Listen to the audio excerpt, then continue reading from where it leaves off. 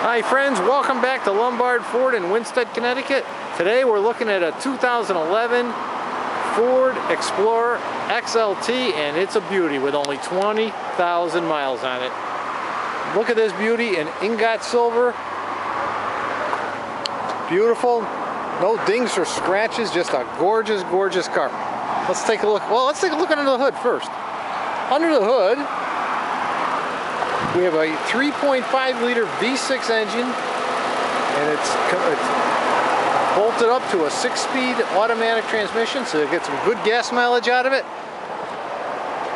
Let's open the door, check out. We, oh, we have uh, remote keyless entry with exterior keypad nicely hidden in the, the side panel of the door. All right, we have a beautiful black leather interior, automatic on the floor, power windows, power door locks, automatic headlamps, all uh, all touch control on the steering wheel, AM FM CD, Ford Sync system, hands-free voice activated phone. A beautiful car. Let's take a look in the back. Room for three comfortably in the middle and guess what? We got room in the back for more people. Seven people fit in this car. So you could take the whole family and even some friends. Let's walk around the back. Reverse sensing system with backup camera.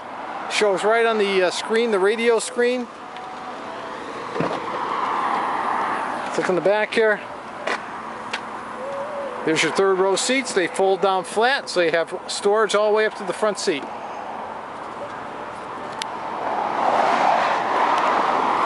Check out those nice 18 inch wheels. A real, real nice Explorer. They were totally redesigned for 2011. Remember the old boxier style Explorer? Well, this is brand new. This rides like a car. You think you bought a Lincoln Town Car or something.